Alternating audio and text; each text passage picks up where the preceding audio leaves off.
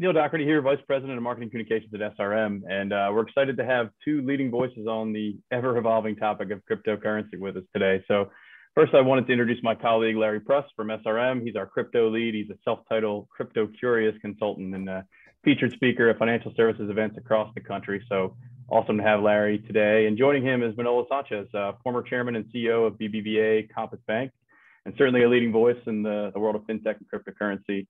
Uh, Manolo, thanks for, for being here today and helping us out, um, talking through this. Uh, Manolo is a adjunct professor at the Jones Graduate School of Business at Rice University, and he uh, splits the remainder of his time across uh, various board posts in financial services and technology spectrum. So we're really excited to, to have Manolo here with us today. Um, thank, thank you both for joining us. Uh, we're going to focus this chat on the general topic of cryptocurrency and more specifically on how financial institutions are maneuvering and adopting during what effectively is a meteoric rise of interest in cryptocurrency. So we'll go ahead and get started, uh, Larry Manolo, if that works for you guys. Uh, so first question, Larry, uh, maybe you can kind of start us out here is, you know, crypto is obviously a growing topic of interest for people around the world.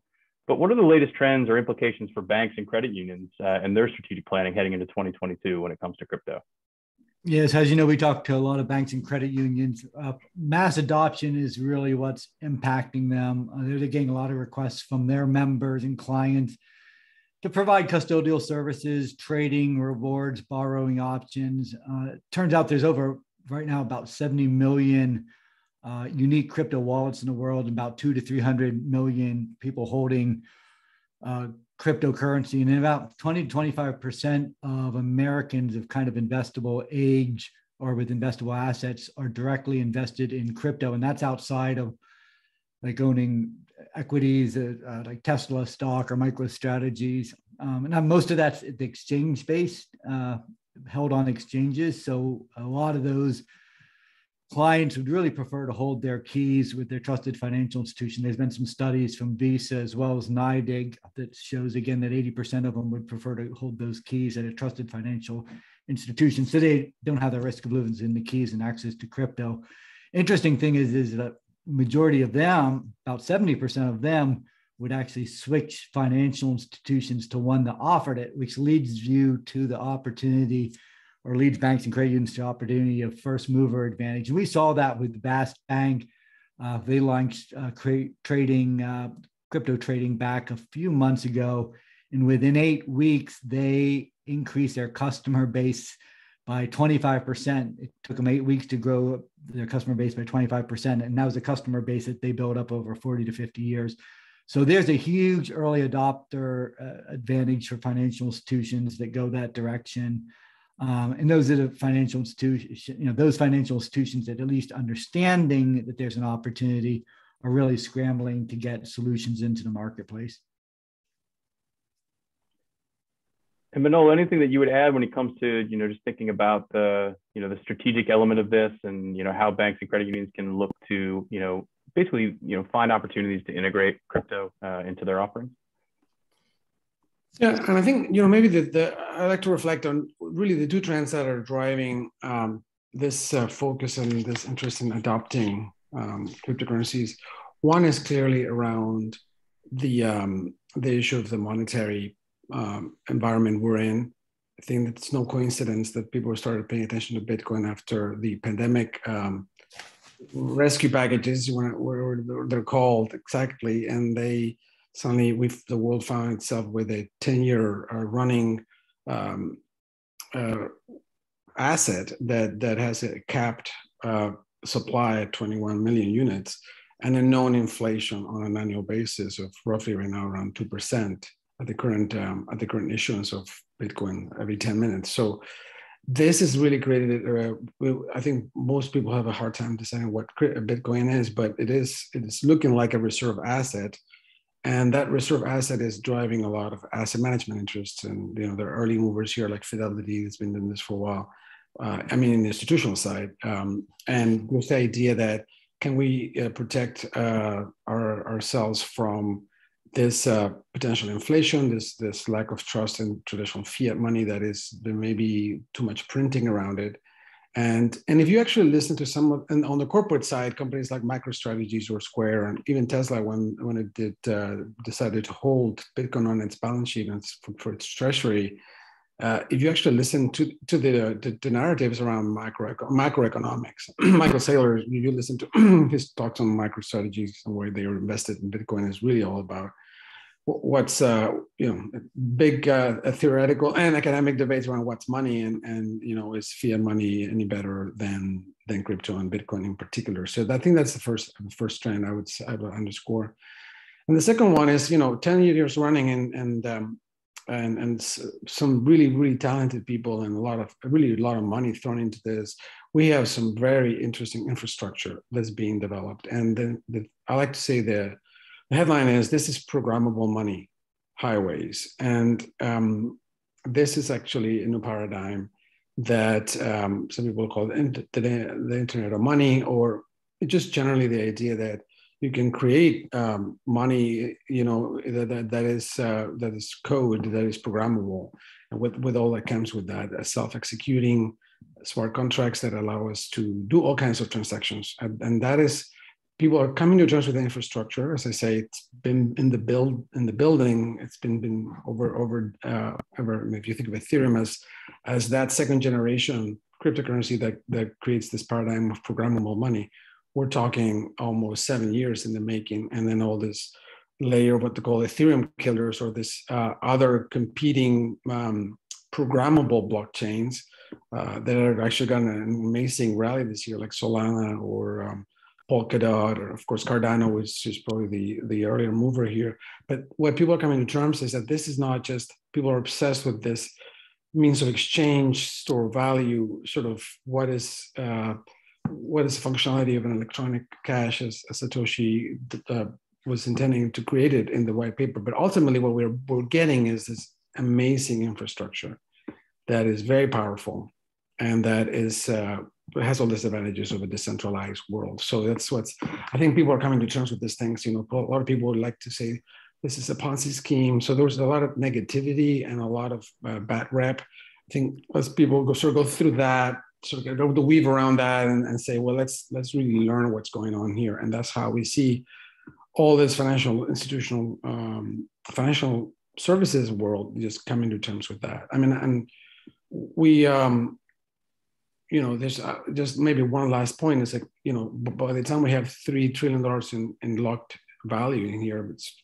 2.6 today, trillion, but it, there was three trillion for a couple of days in recent times. You know this starts to be meaningful as well for a lot of institutions and saying you know why, why aren't we um, playing in this space right? Right. And you raise a really interesting point about the infrastructure and kind of the programmable highways. And, and larry i know you've been tracking this for some time but you know when you think about kind of the current state of adoption and you know in the banking credit union space are there particular early adopters or some institutions that are you know really taking advantage of that infrastructure today any thoughts on kind of you know the sort of the, the the elements and the, the examples that you've seen. Yes, they are early adopters, and you know, as you mentioned, there was uh, some people get into it from a store value standpoint. Some people get in from a transactional. You know, good example transactional would be international remittances. Some people get it in from a speculative standpoint. You mentioned Solana, and I think that's up like sixteen hundred percent year to date. So a lot of these financial institutions are being pushed by their clients, in particular, some of the invest uh, their their big institutional investors, to get exposure to cryptocurrencies. So some of the good examples, and, and there's about probably half a dozen in the market today. But what's important is at least going to be a thousand are going to launch next year, which is going to be really a, a lot of financial institutions bringing crypto onto uh, at least offering crypto solutions. We've seen US Bank launch with custodial services. I think one of the best examples in the market is Vast Bank. I mentioned them earlier, but they launched a, a trading platform as well as self custody, uh, and they saw a huge increase in their uh, client base. Um, uh, which is a New York based bank, they had very good success with rewards programs, uh, debit and credit card rewards when they've been offered in the marketplace, generally they've got wait lists of over 100,000 clients.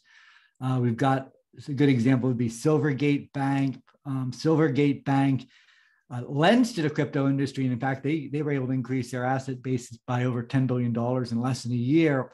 And while that's interesting, they also uh, are are the kind of the the lender or lender the the issuer for stablecoin Diem, um, which is Facebook's uh, stablecoin, which I'll mention a little bit later, I think, in some comments, but uh, some news came out about that today. Uh, looks like they're going to be issuing, potentially issuing some stable coins. Certainly, I think they're going to do some custodial services, maybe lending against crypto. Uh, JP Morgan already had uh, a lot of blockchain technology, but they had their own JP Morgan coin. They were using that to, to basically settle internationally real time uh, final settlements. I could also mention New York Community Bancorp. They, in the last week, it was announced they're minting a new stablecoin with a company called Figure Technologies. The stablecoin is called USDF, and it's on a blockchain called Provenance, which allows lenders and investors to buy and sell loans in real time, 24 7, seven days a week, 365 days a year which is really the, the, the benefit of kind of some of these stable coins and crypto solutions for financial institutions. And then uh, the, I'll mention also Signature Bank. Uh, they've got a stable coin called uh, TUSD, which is a partnership through two, uh, two US dollar running on a platform called Signet that allows real-time payments for their commercial clients. So unlike traditional funds that transfer between two banks, a blockchain allows funds transfer to happen directly between commercial clients and commercial entities. And what we're seeing is that a lot of these folks, they want access to their money or their ability to move money immediately. We're seeing a lot of that in the venture capital uh, space. And they're using stable coins to kind of fund new projects. So they don't have to wait over the weekend to wait for their bank to, to, to open in the morning, or you know, if God forbid someone is reviewing a, a wire and decides that they've got some questions about it and gets delayed you know we're at the point now where when we move money we expect it to be instantaneous and, and these banks and credit unions are figuring that out i mentioned credit unions uh, unify uh, credit unions launching with support of uh, institutional crypto platform provider NYDIG and mobile banking provider Q2. Similarly, uh, Visions Credit Union, we've been talking to them quite a bit, doing the same. They've got test transactions that they've already run, and I expect implementation later this year or, net, or, or next year. So we're seeing a lot of early adopters in this space with all the benefits of being an early adopter. We're going to see a lot of fast followers next year. And I mean, gosh, even if, you know, instead of a thousand, even 500 of them adopt and end up rolling out Bitcoin uh, as a, as a trading option, you can imagine what that's going to do to the market. Sure. And, you know, Larry, and and a lot of those um, examples you shared, you talked a bit about stablecoin. And Manolo, I thought it might be a good opportunity to, to, just get into that a little bit and talk a little bit about kind of the innovation behind stablecoins and the uses and the advantages. I know previously I've heard you reference stablecoins as sort of the, the third generation of crypto. So I was hoping you might be able to kind of just, you know, sort of give us a, uh, an overview of that and your, your take on that. So I, I use this framework with my, with my students uh, when we talk about um, cryptocurrency sort of the theme around uh, three generations or somehow a third generation of crypto, it's Bitcoin being the first one, uh, really enabling uh, unique digital assets and the exchange of value. And the second one being Ethereum and the generation of programmable, fully programmable cryptocurrencies. And the third really are uh, I mean, one possible third is stablecoins. There's other ones like privacy coins, but uh, uh, focusing on on on stablecoins is they they this is a generation of crypto that's trying to solve for the volatility, which is uh, inconvenient uh, to say the least. When you are trying to get to this promised land of programmable money, you want to execute a letter of credit on a smart contract, and then you find out that you know as we're as we're talking, this thing is uh, you know. Um, fluctuating five, 10% sometimes it, it's, it's pretty, and pretty crazy, the, the volatility of this, uh, of these assets. So stablecoins are, are solving for that. They are a bit of, you know, in the, in the community you hear, or, you know, it is the, kind of the anti-crypto in a way, because it's, uh, crypto is, is based on the centralized, uh, uh, central authority free. And in, in a, in a, in a stablecoin, typically you're going to need some uh, someone to verify, or ideally, as we've been seeing with some of the issues around the biggest stablecoin, Tether, how there's uh, there's a need for an auditor and there's a need for a, a, banking partner or an asset manager that can hold the uh, the fiat that's backing it, particularly in the fiat collateralized ones, right? Although there's a good great deal of innovation in stable coins, I mean, I would encourage anyone to really go down uh, this uh, this space because in addition to commodity collateralized uh, stable coins, there's actually crypto collateralized um, uh, cryptocurrencies, which is sounds pretty surreal, but it is some one of the most innovative areas of, of development is in that space, particularly with the um, DAI Maker, which is the um, it's the, the stablecoin that's uh, using Ethereum to over collateralize and create a stablecoin. But I'm going to stick to the to the ones that are they're fiat collateralized. Therefore, they the back they're backing and they're giving you a parity of one say one dollar or one fiat unit per per crypto unit, and that is really what is um, really getting a lot of traction. I think stablecoins, in my view um, you know, in, in, addition to solving the, the volatility issue, which really uh, enables the ability to um, adopt all these uh, programmable financial transactions in a way that it takes out all this uncertainty um, and, and therefore expands potentially the application to many, many other types of transactions uh, that one can think of.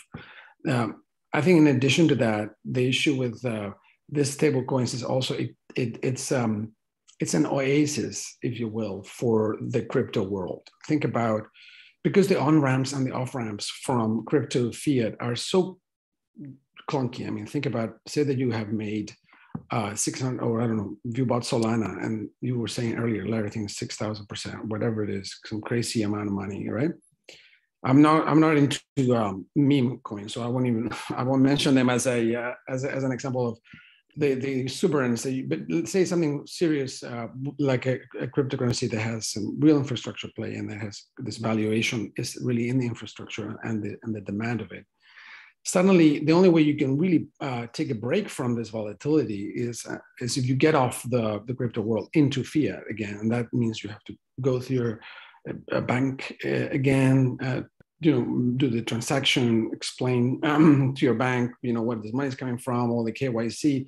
So it is, it is, it's kind of, I like to say that going to crypto is going to another galaxy. and so stablecoins allow, uh, allow folks to have a fiat position in this other galaxy. so if you have this, you can trans, you can move away from a crypto position into a stablecoin position very quickly. That explains, in my view, why Tether, which is the largest one, is uh, almost $80 billion market cap. That means $80 billion of, of locked dollars. But even the um, USDC, the Circle um, stablecoin, which is the one that is, I would say is the most compliant to the US rules system, uh, has about a $40 billion worth of, of market cap as well. So if these stablecoins are really serving a lot of purposes and it's really expanding um, the horizon of use cases uh, and we'll talk probably later about the so-called, uh, you know, central bank digital currencies. But I would, I would even uh, venture to say that these are already digital currencies. You know, folks are, are we're obsessing about the digital yuan, and other countries are piloting these digital currencies. But in a way, we already have a proxy of that, and certainly in the USDC and the Circle uh, and the Paxos version of this versus I mean, if we Tether, we want to somehow folks have uh, a way to think that Tether is, is not as reliable. But anyway, hopefully this sort of projects, uh, sort of shows my views on this. I think that um, it is it is a very interesting space, and as Larry was saying earlier, folks are starting. People are want to get well. If I'm, I, I'm I know people that want to get paid on USDC, uh, which is a circle uh, stable dollar, without you know any hesitation. There's no why wouldn't you want to take that? It's already a digital dollar. Yeah, go ahead, Larry. Jump yeah, in there. If I can add to that. Yeah, so I'm just thinking from a use case scenario. Um, really, they're they're replacing in many countries, just like central bank digital currencies, kind of replacing current the current payment rails.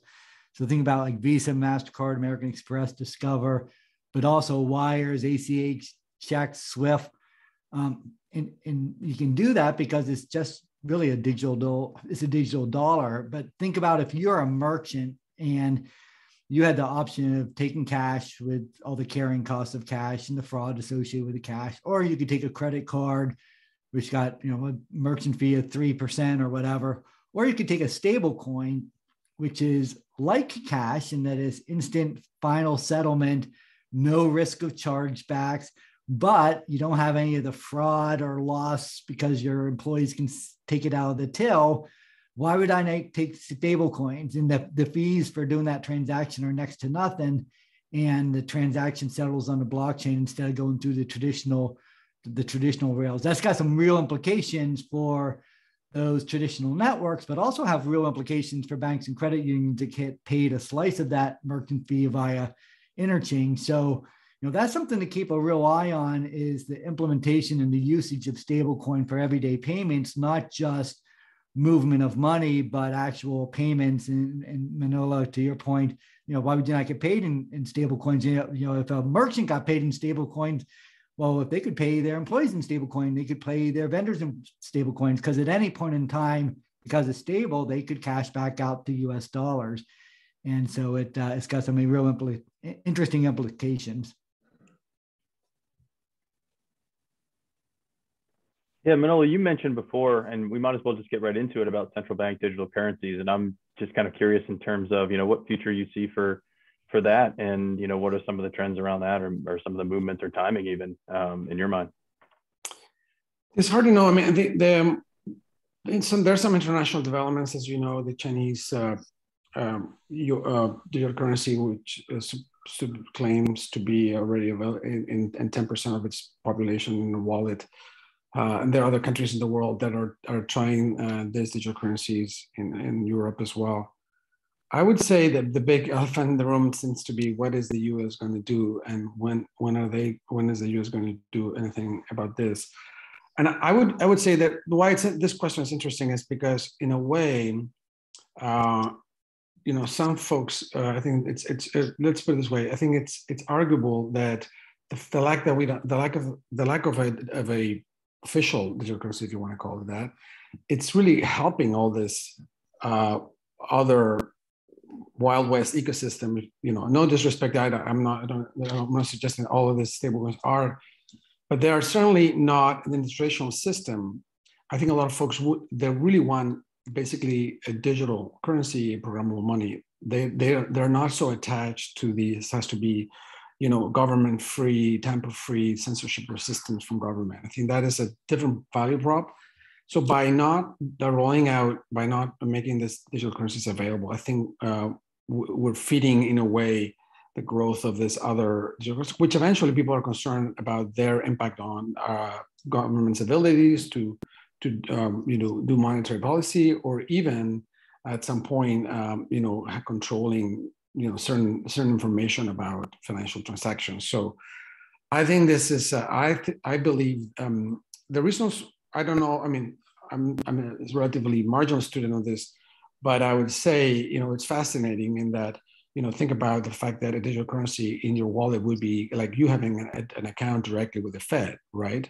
You're taking out a financial institution, which currently is in the middle, and you kind of have an IOU on on on the money you've deposited because that money has been lent on to somebody else to to be precise. So, at the end of the day, um, this is a higher quality of uh, better it's kind of like having cash really in your in your phone if you want if we, let's, let's let's stick to what we all sort of want to get. At the end of the day is that that money is, is in our in our pocket right? So i think that's that's an issue that they that the uh, central banks are going to have to resolve uh, some folks are hinting at the idea that you know a digital wallet from a central bank may have uh, an asset layer and a or maybe put it this way there could be in addition to an asset and a read uh, and a payment layer there could be potentially um, a, a, wholesale uh, structure, wholesale infrastructure, and a retail infrastructure. So you can have a place for the banks to uh, to work and continue with the M2 or M1 uh, functionality they provide uh, this day and age. So those are the things that I would say around. It's tight. I know it's a, a very big picture, uh, but uh, it, it is hard to know what the uh, Federal Reserve Bank is doing they they're probably working on this, but they're not telling the world very much about what their plans are. Larry, any other thoughts on just kind of the the CBDC piece and you know anything else to expect there? I, I, tend to think, and I think you alluded to it. I, I tend to think that we'll, we'll probably see a central bank digital currency that looks a little bit more like what China and other countries have come up with at the wholesale level, but I don't see that at the retail level for a whole host of reasons, whether it's privacy or other. And given how far behind we are from China, I think the Fed can't afford to not roll out with something there's been a lot of talk about regulating stable coins and making sure that they're backed one for one. And it almost seems like they're kind of picking a couple potential winners with stablecoin with, with some of the regulatory guidance they're giving. I'm wondering if we'll see stable coins be used as kind of the de facto central bank digital currency at the retail level, basically a digital dollar, and it would have to be backed by US dollars and or treasury. And I don't see any problem in that outside of the fact that, you know, there is some conversations about, you know, a lot of the talk is around, well, could there be a run on these digital dollars? I don't think that's really where the concern is because if the digital dollars have to be backed one for one, I think the concern probably is if there's a run on the banks, it might be exasperated by the fact that people could know they could go to their digital dollar because it has to be backed by law one to one. So I don't know. There's a there's a lot of uh, sticking points. I know there's a lot of conversations right now with Treasury and Fed and trying to figure out and give some guidance around stable coins because I do believe the stable coins might ultimately end up be that de facto digital dollar for the US, at least at the retail level. And then that would that would ensure that you could still still have that layer of banks as intermediaries in between, and you could potentially do some fractional reserve banking. And what will be interesting is if they ultimately allow some of those underlying assets that the stablecoins have to hold to be relent back out, because if they don't, you're tying up some of those dollars in stablecoins, and, and we know how fractional reserve banking works. Uh, that doesn't work if you've got them tied up in stablecoins, but um, you know, there's a lot, lot, lot more questions than there are answers in this space. If I may chime in, I think that I would certainly encourage uh, the uh, central bankers to work on this. Particularly in the U.S., I think we have a lesson that uh, we we I think we should have learned. Particularly, we saw uh, with uh, the payment infrastructure, the, uh, the let's say the non-crypto payment infrastructure, and we saw companies like Venmo um, come out of nowhere and just own such a large number of the retail transactionality. You know, Venmo is is uh, is a byproduct of the fact that in, in a way the mindset we have in the US is that the central government should not enter a space where the private sector um, can develop uh, a solution. But truthfully, the, the banking sector did not deliver a solution. NACHA was unable to give us the same day payments uh, real-time payments. Uh, I mean, one-day payment for forever, and therefore it allowed for all this innovation, which is great uh, from the private sector. But it it really is in the fringes. It's like these are non-chartered institutions. For uh, the history of Venmo is it will tell us that eventually the Fed is rolling out FedNow, uh, which is a, a, a competing infrastructure for facilitating faster payments, which is what people in the 21st century want to have without using a check. And yet uh, there was too much too much waiting and you know not letting this Fed play its role of providing uh, payment infrastructure. I think it is ultimately an issue because I don't think we are seeing necessarily the the uh, at least from the banking sector we're not seeing any competing ideas and therefore, uh, you know, then they, uh, you know, we, you know, the issues that people are concerned, like what Larry is saying, you know, what, what, what if some of this uh, stablecoins has an issue, a liquidity or a run, uh, who is to blame for? Technically, they're not FDIC insured money, so it's you know I always wonder, wonder is it is somebody not? Uh, but it's the traditional moral hazard problem. You know, it's like you know, are the people that are supposed to be watching after this thing why aren't they doing something about it? Even though the investors or the holders they know this is not FDIC insured. So I don't know if you. The, the, the point is the lesson of Venmo and you know seven years later uh, FedNow Fed now could have been here you know, at the same time as Venmo uh, or at the same time as NACHA was not be able to deliver that that that functionality, and and I think by by not uh, letting the public sector do the, their work here, or just it's it's probably not the best outcome. Right.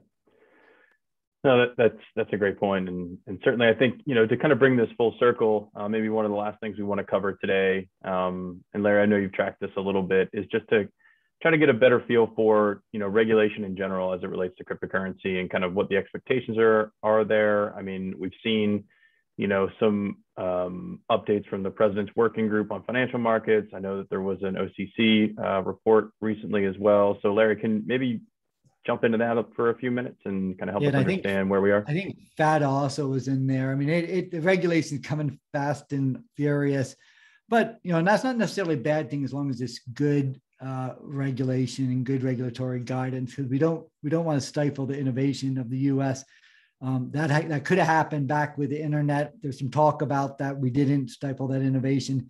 We ended up in Silicon Valley. So we have the same opportunity with cryptocurrencies to give smart guidance, but not to stifle that innovation and, and find those that talent to go elsewhere. But um, in terms of President's Working Group on Financial Markets, that was released, I want to say two weeks ago. That was uh, really run by the Treasury, Federal Reserve, uh, Security Exchange Commission, CFTC, the Commodity Future Trading Commission, all participated. Uh, FDIC was also involved in that, as well as the OCC and they released their report on stablecoins. And this was really to address risks to the payments, uh, to payment stablecoins. So agencies recommended that Congress would act promptly to enact legislation to ensure that payment stablecoins and payment stablecoin arrangements are subject to a federal framework on a consistent and comprehensive uh, basis. So a couple of things, key things that came out of this, you know, the one they're asking Congress to provide the guidance. Uh, they essentially said they'll step in if Congress doesn't do something. Uh, they said legislation should require custodial wallet providers to be subject to federal oversight. So those would be the exchanges. Uh, legislation should require stablecoin issuers to comply with activity restrictions that limit affiliation to commercial entities. And I think that was a slight on Facebook's Diem, uh, previous Libra. In fact, this morning I saw someone sent me a, a news article that uh, Libra Diem's creator, Mark, uh, David Marcus, who I've seen a bunch of interviews, very bright gentleman, says he's leaving Facebook slash Meta at year end. So this does not speak too well to Diem's future in their wallet Novi. Um, I was real excited about to see where that went, but uh, but that recommendation from President's Working Group to again limit affiliation with commercial entities, I think was a clear signal that they were not going to be supporting uh, Facebook's or, or, or, Meta's efforts around that. Um, also said to address the risk to stablecoin users and guard against stablecoin runs, legislation should require stablecoin issuers to be insured deposit institutions. So I'd presume that could be either banks or credit unions because credit unions uh, insured by the NCUA and the, obviously FDIC for uh, banks. What's interesting there again, I kind of question why would that be? If, if you by law are going to require stablecoins to be backed one for one, what do you care whether it's at a federally insured institution? Unless your plan is to later uh, lend those out on a fractional reserve basis, which you might be, um, and then you would need a, a FDIC. The only other thing I can surmise is that just an FDIC insured or uh, NCUA insured institution should have the compliance structure in place that you know, it might guard against any sort of runs or issues with stable coins. But that's another one that for me just sits a little funny. And then I think finally, um, one of the things that they said was US dollar based stable coin arrangements should hold high quality US dollar denominated assets, hold those assets at US regulatory regulated entities and utilize multiple custodians and secure investments with high quality obligators. So that to me says that you know, I think they are looking to use that as a de facto central bank digital currency. Uh, you can back it by U.S. dollars, or you could back it by U.S. Treasury, uh, which is probably similar to what a central bank digital currency would be backed by. But uh, Manolo, I don't know if you've got any other thoughts on that um, in terms of the president's working group. I know there was also an OCC letter, and I'll, I'll talk about that in a second. No, I think the unhosted wallets is really what I think. You know, we, we haven't talked about DeFi uh, yet, but I think there's there's a great deal of functionality that uh, can be processed right now, and having hosted wallets that have no identity attached to them may be an issue, and that's the international guidance as well, and exploring ways to really get that um, uh, you know register, which creates a you know a, a new wave of options as well for for the uh, crypto world itself. I uh, I totally agree. Um, going back to the OCC letter, so last week we did get another interpretive letter from the new head of the OC, or the interim head of the OCC. Uh, three interpretive letters had been provided prior to this recent administration that really allowed banks to dip their toes into cryptocurrencies. This latest one kind of clarified those initial letters and basically said now that banks should not engage in activities until it receives written notification from the supervisory's office of non-objection. So what they're essentially saying is they want you to ask permission, not forgiveness, which I think is fair. They want to make sure that uh, I don't think it's a hard no. They just want to make sure that the right um, compliance regulatory oversight structures are in place to comply with Bank Secrecy Act and know your customer and all of those activities. So I think it's a fair request. it, it is encouraging it that they did not say no. Um, and I do expect similar guidance to be coming from the NCUA. We've had some conversations with them, and I think uh, maybe by the end of this year, certainly first quarter of next year, we'll probably see similar sort of guidance as what the OCC gave banks, and we'll see credit unions further dip their toes into uh, the cryptocurrency currents. Well, that's great, and, and thanks for covering off on that, Larry. And it sounds like there's there's lots more that we could talk about, right, in these conversations, and uh, including DeFi and some other elements of uh, the the bigger picture here. But I think for today, uh, we'll probably kind of just bring this back around and just want to say thank you both for a very fascinating conversation, great info, um, just great stuff all around. So thank you both. Um, and as a programming note, you know, we're just asking folks to keep an eye out on SRM social media, and uh, we've got a, a, a, our next webinar coming up in our cryptocurrency series that Larry will be hosting. That takes place on December 14th, and the topic will actually be a deep deep dive into stablecoin, something we talked about today. Uh, so we hope folks will be able to join us for that. And uh, Manolo, thank you again for joining us. Uh, we really appreciate your insights on this, and hopefully we can have a second conversation, uh, dive into some of the other topics that we know are going to continue to be of interest to folks uh, in our audience and beyond. So uh, really appreciate your time uh, and willingness to have the conversation today. Thank you for having me. Thank you. Appreciate it. Manolo, it was a it was a real pleasure and honor to be on a, a discussion with you. So thank you. Likewise, Larry. It's, it's, it's a great opportunity for us to compare notes. Right. Thank you.